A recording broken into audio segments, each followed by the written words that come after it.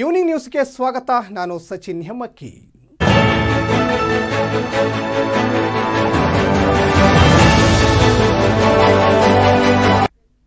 ಗಡಿ ಜಿಲ್ಲೆ ಕೋಲಾರದಲ್ಲಿ ಆನೆ ಹಾವಳಿ ಮಿತಿ ಮೀರಿದೆ. ಹೀಗಾಗಿ ಸಿಟ್ಟಿಗೆದ್ದಿರುವ ರೈತರು ಬೀದಿಗಿಳಿದು ಬೊಂಬೆ ಆನೆಗಳನ್ನಿಟ್ಟು ವಿನೂತನವಾಗಿ ಪ್ರತಿಭಟಿಸಿದ್ದಾರೆ.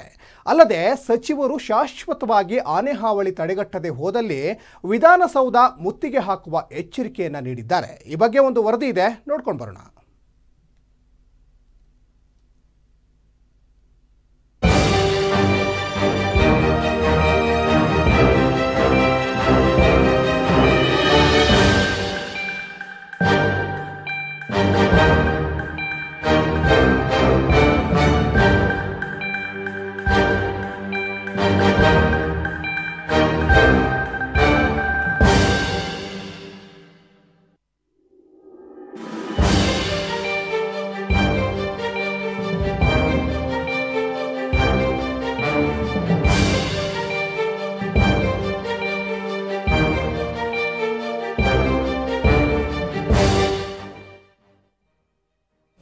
ಜಿಲ್ಲೆಯ ಗಡಿಯಲ್ಲಿ ಆನೆ ಹಾವಳಿ ಮಿತಿ ಮೀರಿದ್ದು, ಕೂಡಲೇ ಶಾಶ್ವತವಾದ ಪರಿಹಾರ ಒದಗಿಸುವಂತೆ ಆಗ್ರಹಿಸಿ ರಾಜ್ಯ ರೈತ ಸಂಘ ಹಾಗೂ ಹಸಿರು ಸೇನೆ ಸಂಘಟನೆ ಕಾರ್ಯಕರ್ತರು ಬೊಂಬೆ ಆನೆಗಳನ್ನ ಇಟ್ಟು ವಿನೂತನವಾಗಿ ಪ್ರತಿಭಟನೆಯನ್ನ ನಡೆಸಿದ್ದಾರೆ. ಅಂದಹಾಗೆ ಕೋಲಾರ ನಗರ ಹೊರವಲಯದ ಬಂಗಾರಪೇಟೆ ರಸ್ತೆಯಲ್ಲಿರುವ ಅರಣ್ಯ ಇಲಾಖೆಯ ಉಪ ಸಂರಕ್ಷಣಾಧಿಕಾರಿಗಳ ಕಚೇರಿ ಎದುರಿನ ರಸ್ತೆಯಲ್ಲಿ ಕುಳಿತು ಸುಮಾರು ಅರ್ಧ ಗಂಟೆಗೂ ಹೆಚ್ಚು ಕಾಲ ಕೋಲಾರ ಜಿಲ್ಲಾಡಳಿತ ಮತ್ತು ಅರಣ್ಯ ಸಚಿವ ಆನಂದ್ ಸಿಂಗ್ ವಿರುದ್ಧ ಘೋಷಣೆಗಳನ್ನು ಹಾಕಿದ್ರು. ಇನ್ನು ರೈತ ಮುಖಂಡ ನಾರಾಯಣಗೌಡ ನೇತೃತ್ವದಲ್ಲಿ ನಡೆಸಿದ ಪ್ರತಿಭಟನೆಯಲ್ಲಿ ಸಚಿವ ಆನಂದ್ ಸಿಂಗ್ ಭಾವಚಿತ್ರಗಳನ್ನು ಹಿಡಿದುಕೊಂಡು ಸಚಿವರು ಕಾಣೆಯಾಗಿದ್ದಾರೆ. ಹುಡುಕಿ ಕೊಟ್ಟವರಿಗೆ ಇಪ್ಪತ್ತೈದು ಲಕ್ಷ ಹಣ, ಐದು ಎಕರೆ ಕೃಷಿ ಜಮೀನು ಬಹುಮಾನವಾಗಿ ನೀಡುವುದಾಗಿ ಫಲಕಗಳನ್ನು ಪ್ರದರ್ಶಿಸಿದ್ರು. ಇದೇ ವೇಳೆ ಮಾತನಾಡಿದ ಹೋರಾಟಗಾರರು ಸಚಿವರು ಶಾಶ್ವತವಾಗಿ ಆನೆ ಹಾವಳಿ ತಡೆಗಟ್ಟದೆ ಹೋದಲ್ಲಿ ವಿಧಾನಸೌಧ ಮುತ್ತಿಗೆ ಹಾಕುವ ಎಚ್ಚರಿಕೆಯನ್ನ ನೀಡಿದ್ರು.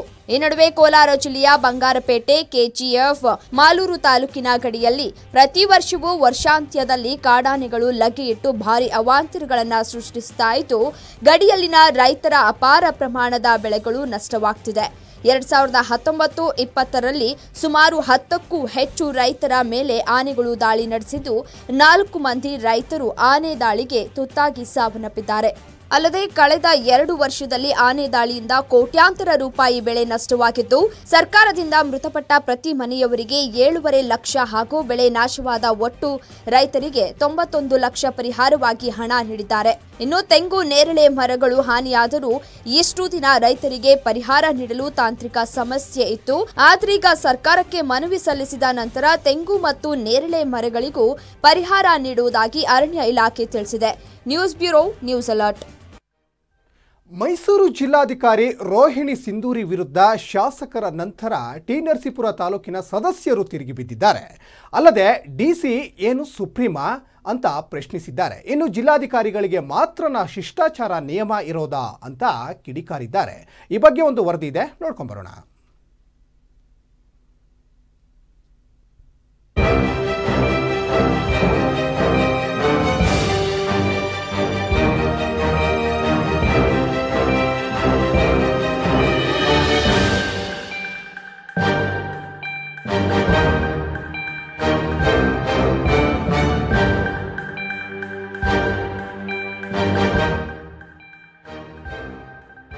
ಹೌದು.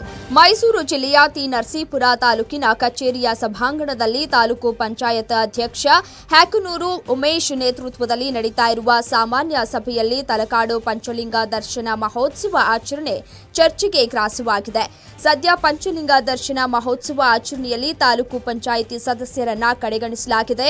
ಸಚಿವರು ಮತ್ತು ಜಿಲ್ಲಾಧಿಕಾರಿಗಳಿಗೆ ಮಾತ್ರನ ಶಿಷ್ಟಾಚಾರ ನಿಯಮ ಇರೋದು, ತಾಲೂಕು ಪಂಚಾಯಿತಿ ಸದಸ್ಯರು ಚುನಾಯಿತ ಜನಪ್ರತಿನಿಧಿಗಳಲ್ಲವೇ? ನಮ್ಮ ತಾಲೂಕಿನಲ್ಲಿ ನಡೆಯುವಂತಹ ಕಾರ್ಯಕ್ರಮದಲ್ಲಿ ನಾವು ಭಾಗವಹಿಸುವುದೇ ಬೇಡವೇ ಅಂತ ಪ್ರಶ್ನಿಸಿದ್ದಾರೆ. ಈ ಸಂಬಂಧ ತಾಲೂಕು ಪಂಚಾಯಿತಿ ಸಾಮಾನ್ಯ ಸಭೆಯಲ್ಲಿ ತಾಲೂಕು ಪಂಚಾಯಿತಿ ಸದಸ್ಯರು ಅಸಮಾಧಾನವನ್ನ ಹೊರಹಾಕಿದ್ದಾರೆ.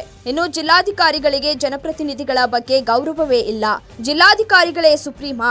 ಜೊತೆಗೆ ಜಿಲ್ಲೆಯಾದ್ಯಂತ ನಡೆದಿರುವ ಕಾರ್ಯಕ್ರಮಗಳಲ್ಲಿ ಜಿಲ್ಲಾಧಿಕಾರಿ ಜನಪ್ರತಿನಿಧಿಗಳನ್ನ ಕಡೆಗಣಿಸಿದ್ದಾರೆ ಅಂತ ಸದಸ್ಯರು ಕಿಡಿಕಾರಿದ್ರು. ಇದೇ ವೇಳೆ ತಾಲೂಕು ದಂಡಾಧಿಕಾರಿ ಮತ್ತು ಜಿಲ್ಲಾಧಿಕಾರಿ ವಿರುದ್ಧ ನಿರ್ಣಯ ಮಾಡುವಂತೆ ತಾಲೂಕು ಪಂಚಾಯಿತಿ ಸದಸ್ಯರು ನಿರ್ಧಾರ ಮಾಡಿದ್ರು.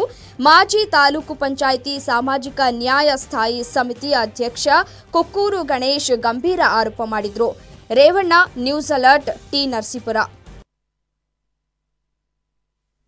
ಅವರು ಪುರಸಭೆ ಮುಖ್ಯಾಧಿಕಾರಿ.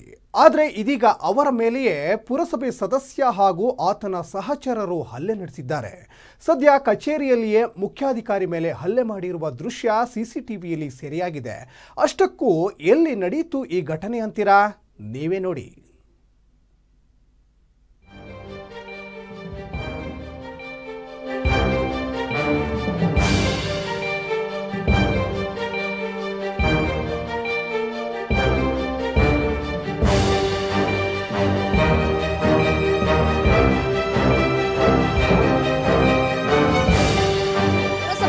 ಮುಖ್ಯಾಧಿಕಾರಿ ಮೇಲೆ ಪುರಸಭೆ ಸದಸ್ಯ ಹಾಗೂ ಆತನ ಸಹಚರರು ಹಲ್ಲೆ ಮಾಡಿರುವ ಘಟನೆ ಕಲಬುರಗಿ ಜಿಲ್ಲೆಯ ಚಿಂಚೋಳಿ ಪುರಸಭೆಯಲ್ಲಿ ನಡೆದಿದ್ದು, ಹಲ್ಲೆ ಮಾಡಿರುವ ದೃಶ್ಯ ಸಿಸಿಟಿವಿಯಲ್ಲಿ ಸೆರೆಯಾಗಿದೆ. ಅಂದಹಾಗೆ ಪುರಸಭೆ ಸದಸ್ಯ ಆನಂದ್ ಕುಮಾರ್ ಟೈಗರ್ ಹಾಗೂ ಆತನ ಸಹಚರರು ಮಂಗಳವಾರ ಮಧ್ಯಾಹ್ನ ಮೂರು ಮೂವತ್ತರ ಸುಮಾರಿಗೆ ಕಚೇರಿಯಲ್ಲಿಯೇ ಮುಖ್ಯಾಧಿಕಾರಿ ಅಭಯ್ ಕುಮಾರ್ ಮೇಲೆ ಹಲ್ಲೆ ಮಾಡಿರುವ ದೃಶ್ಯ ಸಿಸಿಟಿವಿಯಲ್ಲಿ ಸೆರೆಯಾಗಿದೆ. ಪುರಸಭೆ ಕಚೇರಿಗೆ ನಕಲಿ ಬಿಲ್ಗಳನ್ನು ತಂದಿದ್ದ ಆನಂದ್ ಕುಮಾರ್ ಚೆಕ್ ನೀಡುವಂತೆ ಒತ್ತಾಯಿಸಿದ್ದಾರೆ.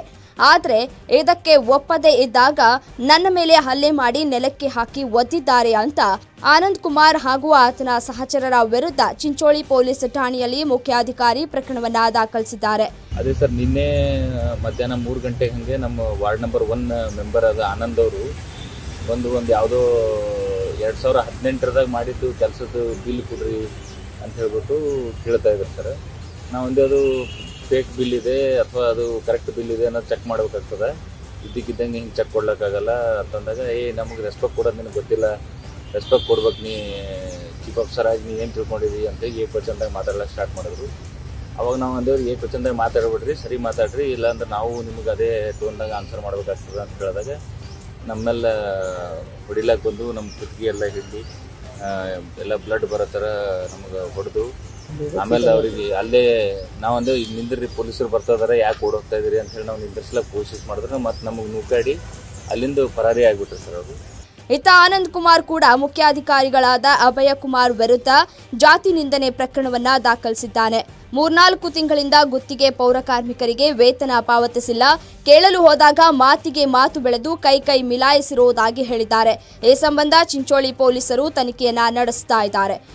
ಚೀಫ್ ಆಫೀಸರ್ ಅವರು ಕೂಡ ಇಂಜೂರ್ ಆಗಿ ಹಾಸ್ಪಿಟಲ್ ಟ್ರೀಟ್ಮೆಂಟ್ ಆಗ್ತಿದೆ ಆ್ಯಂಡ್ ಇವರು ಇಬ್ರು ಜನ ಇನ್ನು ಅರೆಸ್ಟ್ ಆಗಬೇಕಾಗುತ್ತೆ ಸೊ ಅದೊಂದು ಕಾರಣ. ಚೀಫ್ ಆಫೀಸ್ ಅವರ ಹೇಳಿಕೆಯ ಪ್ರಕಾರ ಒಂದು ಡೂಪ್ಲಿಕೇಟ್ ಬಿಲ್ಲುಗಳು ತಯಾರು ಮಾಡಿಕೊಂಡು ಅದು ರೆಡಿ ಮಾಡಿ ಕೊಡುವುದಿಲ್ಲ ಅನ್ನೋ ಕಾರಣಕ್ಕೆ ಹಲ್ಲೆ ಮಾಡಿದೆ ಅನ್ನೋ ಇವ್ರು ಹೇಳಿಕೆ ಅಲ್ಲಿ ಕೊಟ್ಟಿದ್ದಾರೆ ಸೊ ಈಗ ತನಿಖೆ ಈ ಕೇಸಿನ ತನಿಖೆ ಕೂಡ ಈಗ ಆ, ಮುಂದುವರೆದಿದೆ ಈ ಆನಂದಿ ಅವರು ಮಾತ್ರ ಏನು ಆನಂದ್ ಅವರು ಅದೇ ಸೇಮ್ ಪುರಸಭೆಯಲ್ಲಿ ಒಂದು ಸದಸ್ಯರಿದ್ದಾರೆ ಆನಂದ್ ಅದು ಒಬಿಸಿ ಅದ್- ಯಾವ ಯಾವ ಸೆಕ್ಷನ್ ಇದರ ನ್ಯೂಟನ್ ಆ, ಅದು ಆ, ಬೀದರ್ ಜಿಲ್ಲೆಯಲ್ಲಿ ಅವರು ಆ, ಇದ್ದಾರೆ ನ್ಯೂಸ್ ಬ್ಯೂರೋ ನ್ಯೂಸ್ ಅಲರ್ಟ್. ನಿವೇಶನ ವಿಚಾರವಾಗಿ ಎರಡು ಕುಟುಂಬಗಳ ನಡುವೆ ಮಾರಾಮಾರಿ ನಡೆದಿದ್ದು ಇಬ್ಬರು ಬಚ್ಚಿನಿಂದ ಹಲ್ಲೆಗೊಳಗಾಗಿರುವ ಘಟನೆ ಚಾಮರಾಜನಗರ ಜಿಲ್ಲೆಯ ಕೊಳ್ಳೇಗಾಲ ತಾಲೂಕಿನ ಸತ್ಯಗಾಲ ಗ್ರಾಮದಲ್ಲಿ ನಡೆದಿದೆ. ಸದ್ಯ ಎರಡೂ ಕುಟುಂಬಗಳ ನಡುವೆ ನಿವೇಶನ ವಿಚಾರವಾಗಿ ಆರಂಭವಾದ ಗಲಾಟೆ ತೀವ್ರ ಸ್ವರೂಪ ಪಡೆದ ಪರಿಣಾಮ ಇಬ್ಬರ ಮೇಲೆ ಮಾರಣಾಂತಿಕವಾಗಿ ಹಲ್ಲೆ ನಡೆದಿದೆ ಅಂತ ತಿಳಿದು ಬಂದಿದೆ.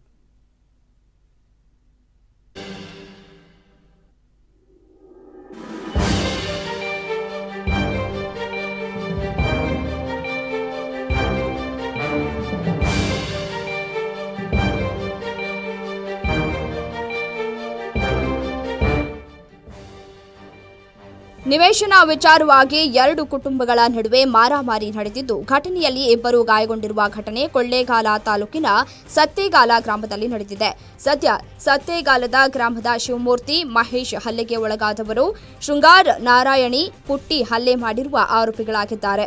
ಇನ್ನು ಇಂದು ಬೆಳ್ಳಂ ಬೆಳಗ್ಗೆ ಎರಡು ಕುಟುಂಬಗಳ ನಡುವೆ ನಿವೇಶನ ವಿಚಾರವಾಗಿ ಆರಂಭವಾದ ಗಲಾಟೆ ತೀವ್ರ ಸ್ವರೂಪ ಪಡೆದ ಪರಿಣಾಮ ಇಬ್ಬರ ಮೇಲೆ ಮಾರಣಾಂತಿಕವಾಗಿ ಹಲ್ಲೆ ನಡೆದಿದೆ ಕಳೆದ ಆರು ವರ್ಷಗಳಿಂದ ನಿವೇಶನ ವಿಚಾರವಾಗಿ ಆಗಾಗ್ಗೆ ಎರಡು ಕುಟುಂಬಗಳ ನಡುವೆ ಸಣ್ಣ ಪುಟ್ಟ ಜಗಳಗಳು ನಡೀತಾ ಇದ್ದು, ಕಳೆದ ಒಂದೂವರೆ ವರ್ಷಗಳಿಂದ ಈ ವ್ಯಾಜ್ಯದ ಪ್ರಕರಣ ನ್ಯಾಯಾಲಯದಲ್ಲಿ ಇದೆ ಎಂದು ಹೇಳಲಾಗ್ತಾ ಇದೆ. ಮರ ನೆಡ್ತಿದ್ವಿ ಕಳ್ಳಿನ. ಬಂದ್ಬಿಟ್ಟು ಯಾಕೆ ನೆಡ್ತಿದೆ ಅಂತ ಮೊಜ್ಜು ತಕ್ಕಂಡು ತಾನು ಬೇಲಿ ಇನ್ನ ನಮ್ಮ ಜಾಗದ ಮೇಲೆ ಜಾಗ ತಕ್ಕಂದಿನ್ನ ಸ್ವಾಮಿ. ಜಾಗ ಕೊಡು ನೀನು ಅಷ್ಟೆಲ್ಲ ಕೊಡು ನಾ ಬಿಟ್ಟು ನಾ ಅಷ್ಟೆಲ್ಲ ಕೊಡ್ತೀನಿ ಜಾಗನ ತಿರ್ಗಾಡಕ್ಕ ಅಲ್ಲಿ. ಅದು ಒಪ್ಪೋದಿಲ್ಲ ನಂದೇ ಅಂದ್ಬಿಟ್ಟು ನನ್ನ ಮಕ್ಕಳಿಬ್ಬರನ್ನು ಮಚ್ಚಲು ಹೊಡೆದು ನನ್ನ ಕೈಲಿ ಹೊಡೆದು ಉಳಿಸಿ ನನ್ನ ಮಗನ ತಲ ಮೇಲೆ ಮಚ್ಚಲು ಹೊಡೆದು ಬುಜ್ಜಿಗೆ ಒಬ್ಬ ಮಗನ ಕೊಡ್ದು. ನಾರಾಯಣಿ ಶೃಂಗಾರು ಪುಟ್ಟಿ ಆ, ಗೋವಿಂದನ ಮಗ ಇನ್ನೊಬ್ಬ ನಾಗರಾಜು. ಅಂದ ಹಾಗೆ ಶೃಂಗಾರ್ ಎಂಬುವವರು ಶಿವಮೂರ್ತಿ ಎಂಬುವವನಿಗೆ ಮಚ್ಚಿನಿಂದ ಹಲ್ಲೆ ಮಾಡಿದ್ದಾನೆ ಎನ್ನಲಾಗಿದ್ದು ತಲೆಗೆ ತೀವ್ರ ಪೆಟ್ಟಾಕಿ ಆಸ್ಪತ್ರೆಗೆ ದಾಖಲಾಗಿದ್ದಾನೆ. ಮಹೇಶ್ ಪುಟ್ಟಿ ಎಂಬುವವರಿಗೆ ಸಣ್ಣ ಪುಟ್ಟ ಗಾಯಗಳಾಗಿವೆ. ಸತ್ಯಲ ಗ್ರಾಮದವರು ನಾವು ಇದು ಜಾಗದಿರಿಸೋಕ್ಕೆ ನಾರಾಯಣಿಯವರು ಮುಚ್ಚಲೆ ಹಲೆ ಮಾಡಿ ಜಾಗದಿರಿಸೋಕ್ಕೆ ಶೃಂಗಾರು ಮತ್ತು ಪುಟ್ಟಿ ಕೊಲೆ ಮಾಡ್ತೀವಿ ಅಂತ ಬೆದರಿಕೆ ಹಾಕಿ ಮುಚ್ಚಲು ಹೊಡೆದು ನನ್ನ ತಮ್ಮನಿಗೆ ನನಗೆ ಇಬ್ಬರಿಗೂ ಕೊಲೆ ಮಾಡೋದು ಅಂದ್ಬಿಟ್ಟು ಮುಚ್ಚಲು ಹೊಡೆದವ್ರೆ.